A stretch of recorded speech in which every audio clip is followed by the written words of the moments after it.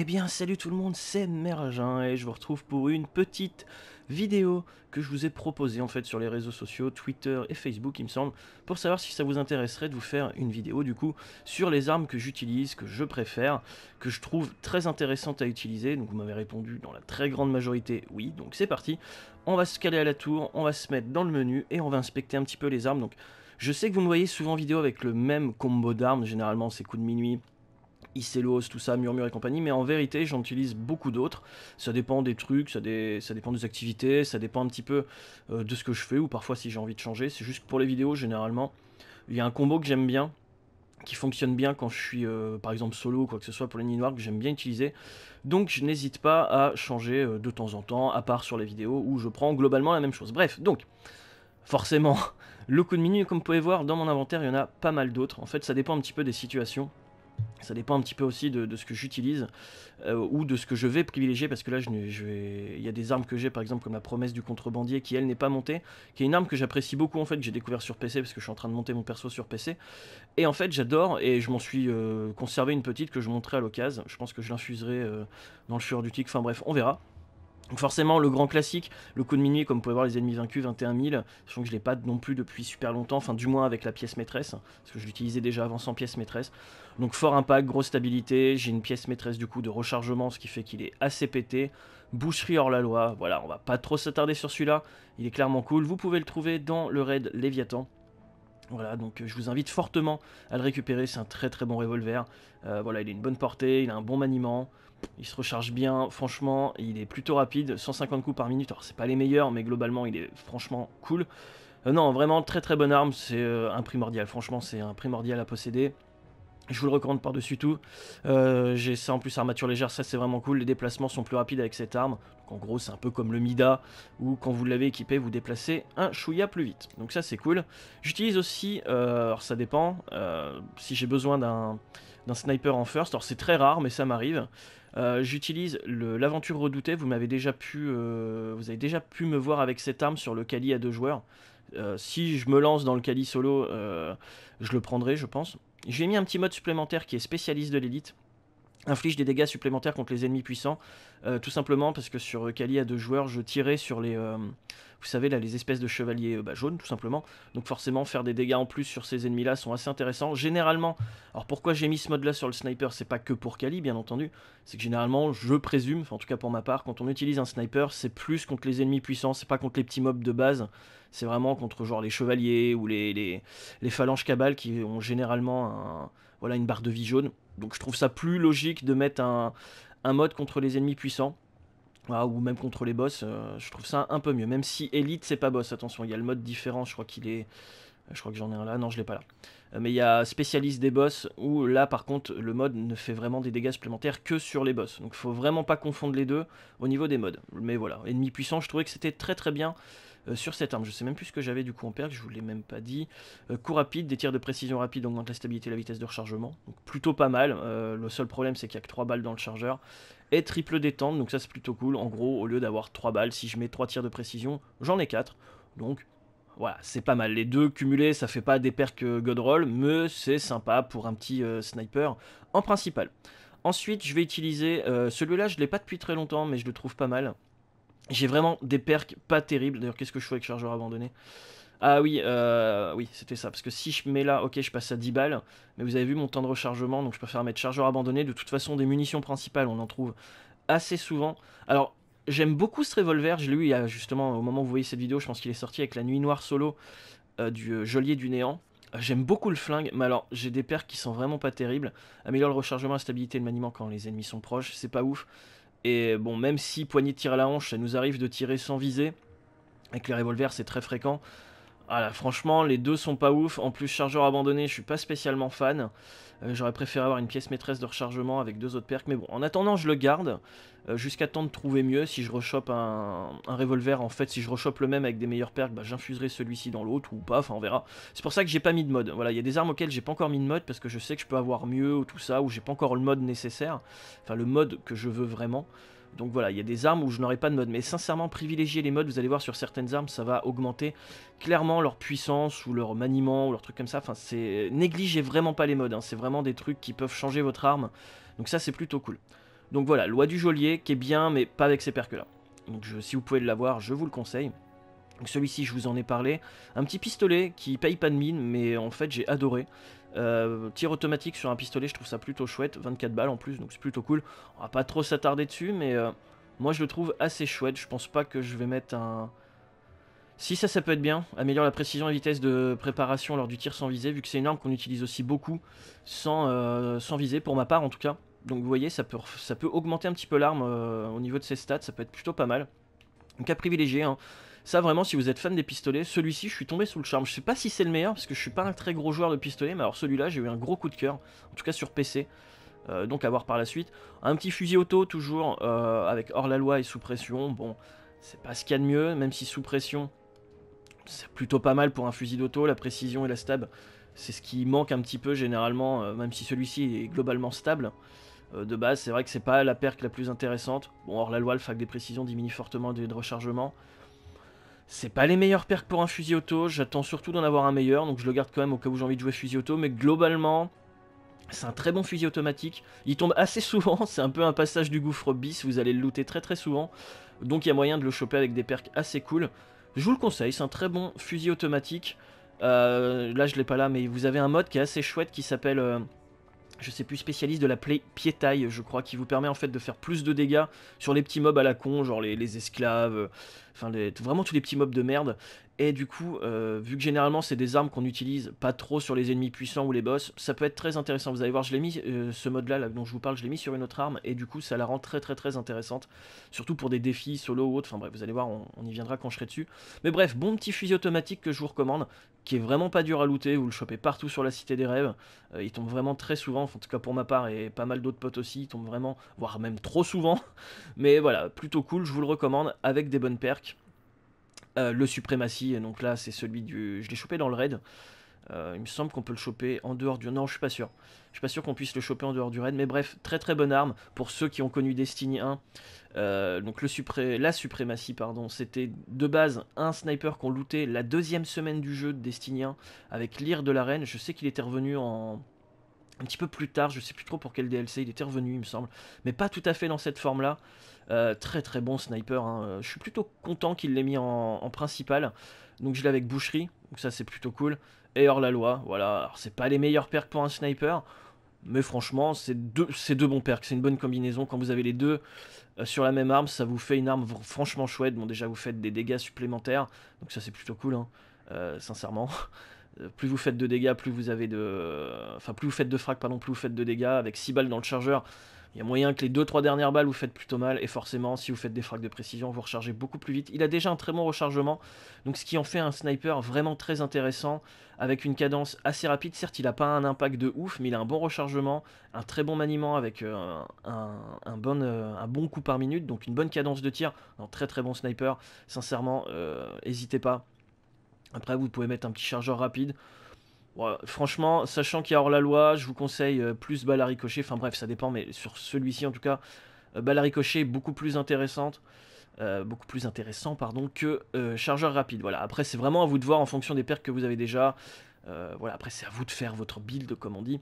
Donc j'ai pas mis de de mode sur celui-ci mais je pense qu'un spécialiste de l'élite pourrait être pas mal. Voilà pourquoi pas.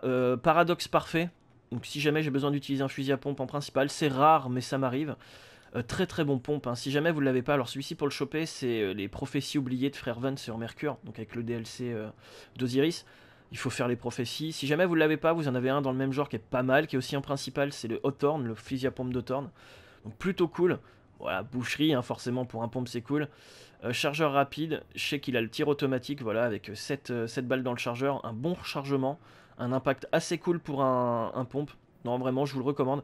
Après, voilà, vous avez d'autres trucs. Vous pouvez même augmenter un peu la portée, qui est pas dégueulasse pour un pompe. Alors, la portée, elle est plus intéressante à augmenter en PVP qu'en PVE, parce que généralement, euh, en PVE, on va se caler vraiment euh, contre les ennemis, ce qui est moins le cas en PVP. Enfin, voilà, c'est toujours mieux d'avoir un peu plus de portée en PVP qu'en PVE. Moi, j'ai préféré avoir la stabilité et la vitesse de rechargement. Je trouve ça beaucoup plus intéressant pour le PVE. Voilà, très très bon fusil à pompe. Si jamais vous savez plus trop quoi faire bah, et que vous n'avez pas fait les prophéties de Frère Vance, n'hésitez pas à le faire. En plus, la quête est cool, vous en apprenez plus sur 5.14, tout ça. Bref, je vous le recommande, très très bon fusil à pompe. Ensuite, je joue fusil d'éclaireur, pareil, c'est rare mais ça m'arrive. Euh, c'est des armes que j'adore, malgré que, franchement avec ce DLC je suis super fan des revolvers, mais je me connais, je suis quelqu'un qui fonctionne, euh, par exemple je vais jouer 3 mois revolver, après je vais passer 3 mois au fusil d'éclaireur, donc je me connais, je change assez souvent. Celui-ci est pas mal, c'est celui de la bannière de fer, donc nouvelle saison, hein, euh, voilà, très joli, hein, franchement très très joli. Les deux paires comme d'hab, bouche fer la loi, hein, ça fait le taf. chargeur abandonné, je suis vraiment pas fan de ce truc. Malgré que, vous voyez, le rechargement, on perd quand même beaucoup. Je ouais, je perds deux balles avec un plus gros rechargement. Je sais pas, à voir. J'aime bien avoir plusieurs balles en éclaireur. C'est vrai que là, le rechargement est pas terrible. Après, euh, ouais, c'est vrai que j'ai plus beaucoup de modes. Mais il me semble qu'il y a des modes qui permettent d'augmenter le rechargement. Ou alors tout simplement de mettre une pièce maîtresse. À voir. Voilà, je sais pas encore vraiment ce que je mettrai. Mais globalement, voilà, un fusil d'éclaireur bouche la loi. Euh, rien d'autre à dire que c'est un très très bon éclaireur. Un pack plutôt cool, une bonne portée. Voilà, après il n'a pas une cadence de ouf, 150 ça passe, c'est pas non plus euh, exceptionnel. Voilà, très très bon, euh, très bon éclaireur en fait, hein, tout simplement. Plutôt lent mais gros impact, donc vraiment pas mal. Plutôt pour le PVE, hein, je pense pas qu'en PVP je pense qu'il vaut mieux privilégier de toute façon les armes à forte cadence. Après je suis pas expert PVP donc euh, je peux pas vous l'affirmer à 100% mais ça me paraît plus logique. Voilà, ça en PVE un petit peu à distance pour des boss, des trucs comme ça. Pourquoi pas, je vous le recommande, il est assez stylé, il a une bonne gueule, il a des bonnes perks des bonnes stats. Voilà, pourquoi pas, foncez dessus. Ensuite, on passe aux armes secondaires, j'en ai beaucoup. Alors, le hurlement de Luna, d'ailleurs, un petit coucou à PSman qui m'a aidé à acquérir cette arme. Vraiment, merci à lui, hein, parce que euh, moi et le PVP, ça fait 36. Bref. Donc, euh, merci PS hein, si, tu, regardes cette vidéo. Euh, le hurlement de Luna qui est juste, mais monstrueux quoi. On va pas se mentir. Donc ça c'est un compte frag. Hurlement merveilleux, enchaîner rapidement deux tirs de précision réussis permet de bénéficier d'une courte période de dégâts supplémentaires jusqu'au prochain frag ou tir raté. Voilà, enfin tout simplement, euh, bah, ça veut tout dire quoi. Vous mettez deux tirs de précision, vous bénéficiez de dégâts supplémentaires. Voilà, enfin c'est plutôt cool quoi. Euh, moment zen, les dégâts infligés par cette arme améliorent la stabilité. Chargeur abandonné, bon ça, je suis pas excessivement fan de ce truc, mais regardez ses stats quoi. Regardez son rechargement, regardez son coup par minute, sa cadence, sa stabilité et son impact. Bon, bah voilà, que de dire, que dire de plus, c'est complètement pété au niveau du skin, elle ressemble vachement à la grande faucheuse, je trouve. Euh, donc plutôt pas mal, bonne gueule. Euh, bonne stat, voilà, je vous le recommande. Après, c'est vraiment que du compétitif en PvP, tout ce que moi m'horrifie. Euh, je suis vraiment pas joueur PvP, donc euh, c'est là où PSMN du coup m'a aidé un petit peu. je, voilà, je suis pas du tout un joueur PvP, c'est pas quelque chose qui me plaît, c'est pas quelque chose qui me fait envie. Voilà, je suis comme ça, je suis un joueur PvE, c'est comme ça, je suis pas du tout un joueur PvP. Mais il y a une raison une annonce que je ferai plus tard de pourquoi euh, j'ai cette arme, pourquoi PSMN s'est proposé de, m'acquérir cette arme. Il y a une raison qui viendra avec une vidéo précédente. Peut-être que l'annonce aura déjà été faite au moment où la vidéo sortira, mais bref, il y a une raison. Euh, je vous l'expliquerai en temps et en heure. Ensuite, voilà, ça c'était pour la première arme. Là, franchement, j'utilise tout ça. J'adore les armes secondaires dans, dans. Il y en a vraiment qui sont mais juste géniales. Quoi. Je trouve que les armes énergétiques, en gros pas secondaires, euh, ont une vraie gueule, ont une vraie personnalité. Il y a des trucs super intéressants, il y a vraiment des trucs, mais généralement je change très peu mon arme principale qui va globalement euh, se tourner au coup de minuit ou à une suprématie ou un truc du genre. Par contre en arme secondaire, mais je change beaucoup. Alors vous avez dernière des horreurs que je trouve pas mal. C'est euh, l'arme en fait exclusive à l'assaut la corrompue. je suis pas trop impulsion, mais lui je le trouve chouette. Déjà, j'ai très peu d'armes en, en, cryo intéressantes il me semble en secondaire. Je dis peut-être une bêtise, mais je sais qu'à un moment je la, prenais beaucoup parce que j'ai très peu d'armes cryo. oui, avant le Nation des Bêtes, voilà, avant que j'acquéris le Nation des Bêtes, j'avais très peu d'armes en cryo, donc j'utilisais pas, mal. Donc réserve un pack élevé, les munitions en fin de chargeur affligent davantage de dégâts. C'est plutôt cool, ça ressemble à la Suros. Euh, détente pour tir automatique, je trouve ça chouette sur un impulsion. Voilà, vous, vous pressez à détente, ça tire tout seul. En plus, la fin de chargeur inflige plus de dégâts. Munitions de gros calibre augmente légèrement la portée. Sinon, vous avez chargeur rapide. Bon, l'impact est dégueulasse. Franchement, il est pas ouf. Par contre, il y a une bonne portée, une bonne stab et une bonne cadence. C'est ce qui fait, en fait, voilà, ça comble son impact pas terrible. C'est que vous avez à l'avoir une cadence qui est vraiment plutôt rapide. Donc euh, ça comble un petit peu le manque de dégâts. Plus en auto, tout ça avec la fin de chargeur qui augmente un peu. Voilà, le tout mélangé fait que c'est une bonne arme. Si vous avez des perks moins bonnes, euh, des perks genre plus basiques, euh, il y a possibilité que ça soit pas une arme intéressante. Mais là, en fait, les perks que j'ai comblent vraiment le manque d'impact ou ce genre de choses. Ce qui la rend pas non plus ultra pété, mais intéressante. Voilà, c'est un bonne impulsion, une bonne arme secondaire où on se prend pas la tête. Euh, voilà, si, vous faites des assauts, des trucs comme ça, vous prenez ça en mode détente. C'est une arme qui passe très très bien. Ensuite, bon, bah, le grand classique, hein, le Pompicello, on le présente plus, euh, celui du protocole. Voilà, que je vous recommande par-dessus tout, un très très bon fusil à pompe, 8 balles dans le chargeur, automatique, fort impact. Plus, euh, si vous mettez un coup de cac juste avant, vous doublez vos dégâts. Bref, complètement pété, c'est un fusil à pompe à avoir, c'est l'une des armes, voilà, avec le coup de minuit, c'est l'une des armes à avoir, clairement, dans votre inventaire. Il y a quelques armes comme ça, comme celle-ci par exemple, qui est cool, mais pas indispensable. Là, le coup de minuit, l'Icelos, Nation des Bêtes, ce genre d'armes, c'est vraiment des armes indispensables à avoir. Pour euh, être bon, en fait, pour être polyvalent, euh, dans toutes les activités PVE, tout ça et tout, c'est vraiment des trucs que je vous recommande. Par-dessus tout, on va pas le présenter plus longtemps, il a une bonne gueule, hein. voilà, moi j'adore sa gueule. Donc euh, détecteur de menace aussi mouvant, voilà, vous avez plusieurs choix. Bien sûr avec pièce maîtresse de rechargement, ce qui le rend encore plus fumé.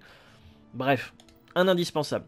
Autre indispensable, je trouve, qui est une arme du raid, euh, dernier vœu, le Nation des Bêtes. J'adore cette arme, j'adore cette arme. C'est franchement une grande faucheuse en secondaire, donc Cryo. Euh, libellule, de précision crée une explosion causant des dégâts élémentaires. Alors ça, mais c'est complètement fumé sur ce flingue. Or la loi, et eh bah oui, en plus, si on fait des frags de précision, d'une, on fait des dégâts élémentaires, mais en plus on recharge plus vite, n'importe quoi.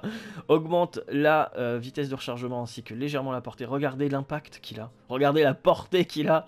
Euh, il a un très bon rechargement. en plus, voilà, j'ai mis spécialiste de la piétaille. Voilà, c'est ça, inflige des dégâts supplémentaires contre les ennemis de base.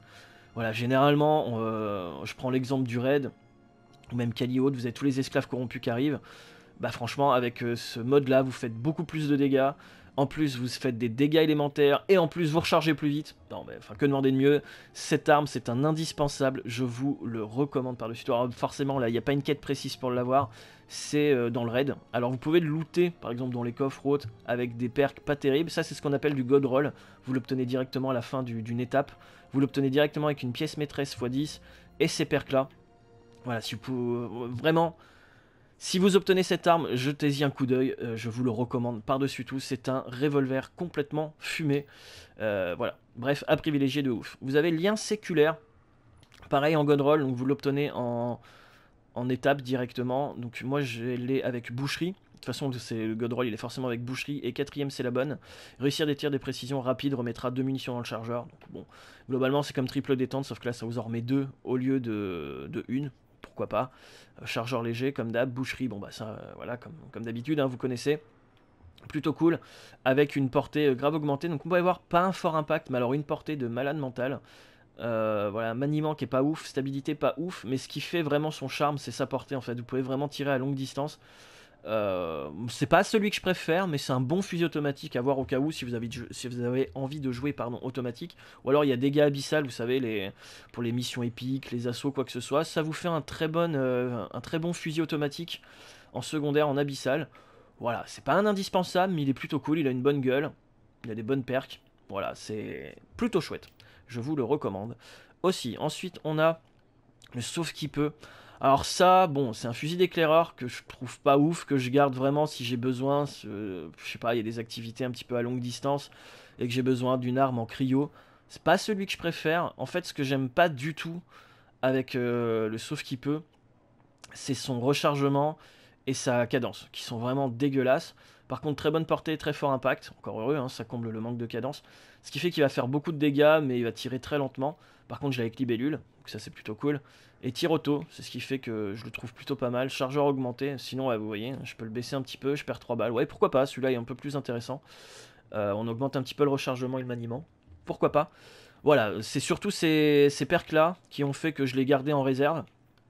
Pourquoi pas si vous l'avez avec des, bonnes perks c'est pas un indispensable, c'est une arme sympa, mais euh, voilà, c'est pas c'est pas la grosse tuerie de ouf par rapport aux sécurités garanties que je vous parlerai juste après. Serment du crépuscule, ça j'utilise énormément dans euh, quand il faut double sniper par exemple sur Riven.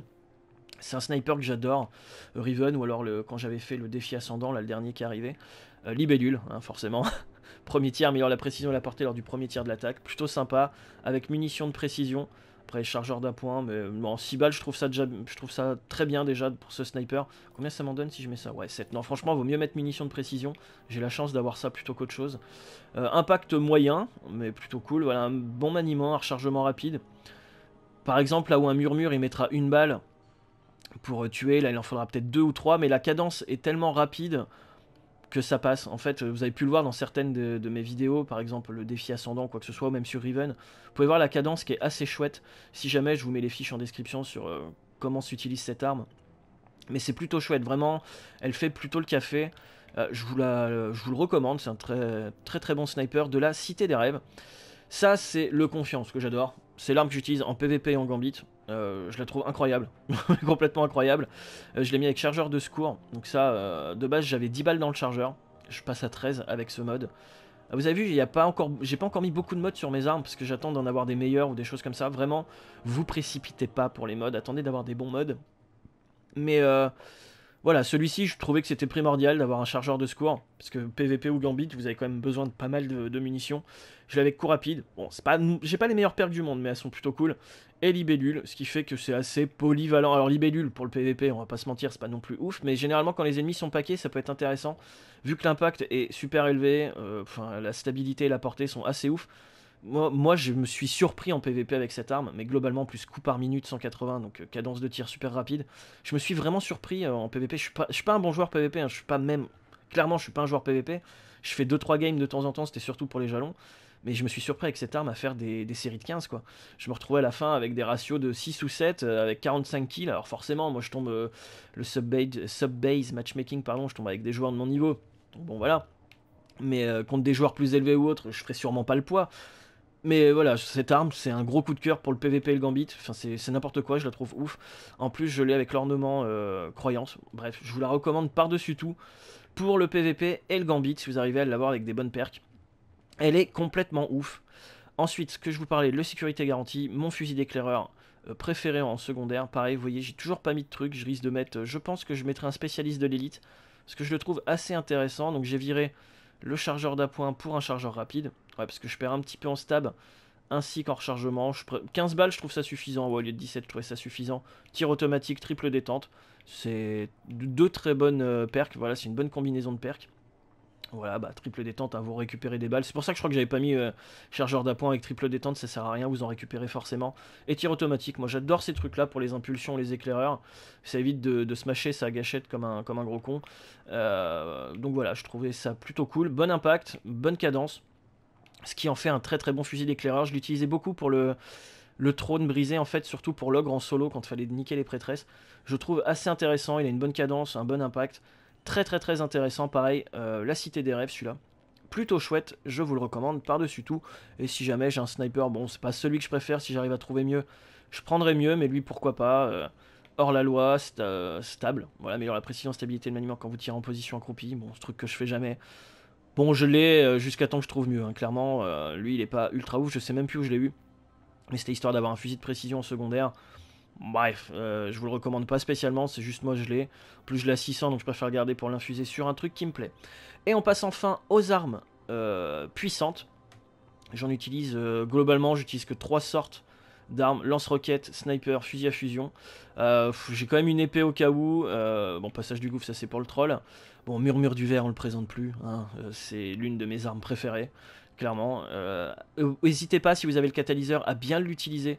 Euh, très peu de gens l'utilisent et je vous assure que ça fait la différence. N'hésitez pas à garder votre viseur en fait, enfin viser pendant 3 secondes, 3-4 secondes. Très peu de gens l'utilisent, j'ai déjà vu même des streams, des trucs comme ça, et je me rends compte que les gens l'utilisent très peu. Et utilisez-le si vous avez le catalyseur. C'est vraiment viser avec cette arme sans tirer pendant un court instant qu'on fait un bonus de portée, de dégâts, de précision pendant que le zoom est activé. En gros, je vous remets la vidéo en, en fiche. Mais quand j'ai fait mon solo palier 3 ou 4, vous me voyez de temps en temps, euh, on m'a pas fait la remarque d'ailleurs, pourquoi pas, c'est-à-dire que les gens euh, doivent connaître quand même ce truc. En fait, je vise souvent sans tirer. C'est-à-dire que vous me voyez, en fait, je suis en train de viser, puis je tire pas. C'est-à-dire que j'ai la tête de l'ennemi dans mon viseur, mais je suis, je tire pas tout de suite. Et là, d'un coup, on voit le souffle murmuré qui s'inscrit, ça se met dans votre feed au-dessus de votre super. Et là, je me mets à tirer. Et vous voyez la différence de dégâts. En fait, je sais que dans ma vidéo euh, solo palier 3 et 4, je crois, de temps en temps, en fait, j'ai pas trop le temps, je tire sans le, sans le souffle murmuré, je dois mettre 58 000, je dis une connerie, hein, je mets 58 000 de dégâts, et d'un coup, j'ai le souffle murmuré qui je passe à 80 000 de dégâts. Bon, bah, c'est con, mais ça marche vraiment bien. Par exemple aussi, vous avez un très bon exemple du, dégât du souffle murmuré. C'est sur euh, dur, euh, dur, ah, je sais plus quoi, enfin la, la, prêtresse, la boss finale du trône brisé que je fais en solo. Pareil, je vous mets la vidéo. Je sais pas si je les mets en fiche ou si je les mets en fond en plus, euh, je sais pas, on verra Et en fait, vous voyez clairement la différence. Au, début, j'utilise mon murmure sans le souffle murmuré, je lui mets 658 000 de dégâts. Et après, je mets le souffle murmuré, je lui mets 1 million de dégâts par balle. Donc, hésitez vraiment pas. Si vous avez le catalyseur, c'est le truc à privilégier. Hein. Le souffle murmuré, c'est le truc à vraiment euh, utiliser pour améliorer vos dégâts faire des, dégâts mais monstrueux sur les ennemis. Bref, murmure du verre qu'on présente plus je vous recommande par-dessus tout. C'est d'ailleurs, euh, je crois, la, première arme que je suis parti récupérer directement sur PC. Dès que j'ai eu le niveau, je fais putain, euh, go faire le murmure, il me la faut absolument. Euh, bon bah, le slipper, hein, qu'on présente plus, image de l'esprit dormant. Je vais pas m'attarder dessus, hein, c'est une arme que vous connaissez aussi très bien, que vous pouvez choper avec le Warmind, l'esprit tutélaire. Alors beaucoup de gens, j'ai vu beaucoup de gens me dire, ouais mais elle est impossible à faire la quête du slipper, donc je vous fais une petite Petite parenthèse, en fait, n'hésitez pas, parce que je sais que beaucoup n'ont pas fait spécialement l'esprit dormant à sa sortie, donc ils se lancent sur le slipper normal, ils veulent, enfin l'esprit tutélaire, par l'esprit dormant, pardon. Donc ils veulent forcément avoir cette arme, ce qui est compréhensible, et en fait ils se rendent compte qu'au bout d'un moment, enfin j'ai eu beaucoup de messages sur Twitter, ouais j'ai un bug, la quête elle est buggée, j'arrive plus à avoir des brins de résonance. Oubliez pas qu'il faut vous lancer aussi sur la quête euh, de la lance de Polaris, en fait c'est cette quête là qui va vous débloquer les brins de résonance.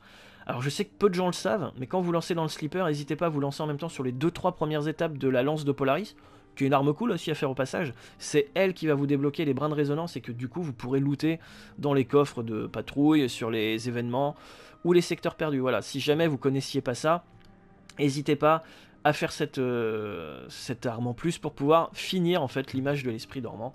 Tout simplement très très bonne arme encore une fois à privilégier. Ensuite, j'ai euh, trois lance-roquettes. Donc celui-ci, juste parce que je le trouve cool et qu'il est en, en cryo. De base, je n'ai pas des perles de fou. Je l'ai juste pris euh, voilà, pour avoir un, roquette cryo. Sinon, j'ai celui du Gambit pour euh, bombe à sous-munitions. Voilà, ce qui, fait des, des roquettes super sympas. Ça, ça vous fait des dégâts de ouf. Prêt pour le terrain, je trouve ça pas mal. Dans le sens où ça vous en fait voilà augmente la réserve de munitions, position accroupie, le rechargement est plus rapide et l'arme est plus rapidement prête à l'action ou rangée. Bon, c'est pas une perque de ouf, mais je trouve ça pas mal. En gros, quand vous rangez votre arme et que vous la ressortez, euh, ça s'est rechargé tout simplement. Donc ça, c'est plutôt cool. Voilà, très très bon euh, lance-roquette que vous obtenez avec le Gambit. Et du coup, j'ai un autre lance-roquette qui est celui du raid, celui-ci qui est prédateur du Zénith. Je l'ai pris pour le module de guidage avec spécialiste des boss. Voilà, c'est lui que j'ai pris en spécialiste des boss.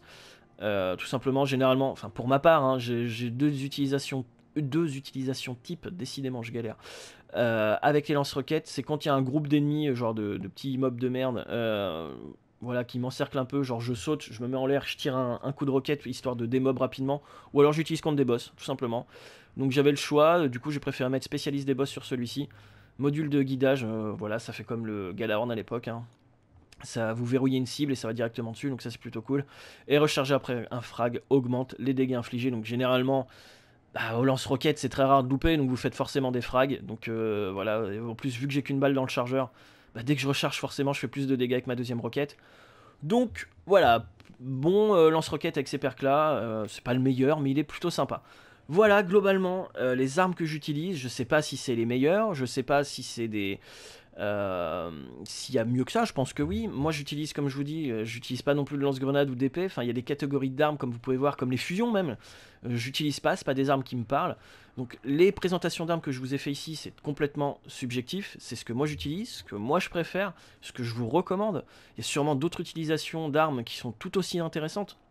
Mais voilà, globalement, il y a des indispensables, comme le coup de minuit, euh, comme l'Icelos, comme le Nation des Bêtes, comme le Murmure, le Slipper. C'est vraiment des armes que vous devez posséder. C'est des armes ultra polyvalentes qui vous serviront dans tous les cas pour les activités PVE, euh, que ce soit raid, assaut, tout ce que vous voulez. Ça va forcément vous servir. Encore une fois, je suis pas un joueur PVP, donc il y a des armes forcément que je vous ai pas présentées. Euh, je préfère pas me risquer à aller là-dessus parce que vu que je suis pas expert PVP, je sais pas ce qui fonctionne le mieux, même si j'ai une vague idée. Forcément, après 4 ans sur Destiny, on sait qu'il y a des perks ou des styles d'armes qui sont plus adaptés en PVP. Je préfère pas m'attarder là-dessus. Je vous ai vraiment présenté ce qu'il y avait de mieux à mes yeux pour le PVE. Après, il y a aussi les armures. on verra si ça vous intéresse. N'hésitez pas à me dire euh, si ça vous intéresse qu'on se privilégie un petit peu plus sur les armures. Pourquoi pas, si jamais, déjà que la vidéo est très très longue. Bref, en tout cas, je vais pas euh, m'attarder plus longtemps. N'hésitez pas, le pouce bleu, voilà, je le demande rarement, mais ça aide vraiment à faire avancer la chaîne, à mieux référencer les vidéos. Donc n'hésitez pas, si vous avez aimé cette vidéo, à mettre le petit pouce bleu, à vous abonner, à mettre la cloche aussi, comme ça vous êtes sûr d'avoir toutes les notifications de toutes les vidéos, parce que je sais qu'il y a beaucoup de gens qui ne reçoivent pas toutes les notifications, ils en reçoivent genre une sur 10, voire 15. Euh, donc c'est un peu relou, mais bon, c'est comme ça. Bref, en tout cas, j'espère que ça vous aura aidé, ça vous aura donné quelques pistes sur des perks intéressantes, des modes intéressants à mettre sur certains types d'armes. Euh, voilà, donc n'hésitez pas à aimer, commenter, partager comme d'habitude. Prenez soin de vous les gens, prenez soin des autres et je vous dis à la prochaine. Allez, ciao tout le monde, à bientôt.